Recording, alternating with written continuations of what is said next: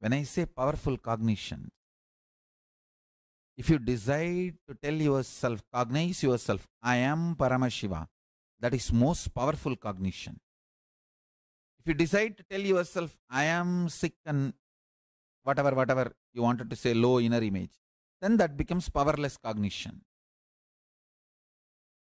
The way you hold you, world, others, everyone within you is cognition. Every powerful cognition you go through, you experience, you decide to consciously manifest.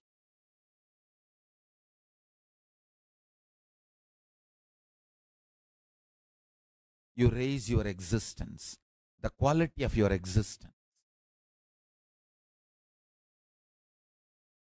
I tell you,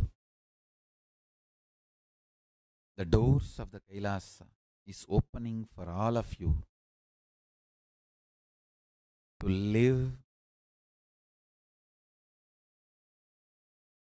manifest the state of Paramashiva, space of Paramashiva, powers of Paramashiva, being of Paramashiva, super consciousness of Paramashiva. The doors of Kailasa is open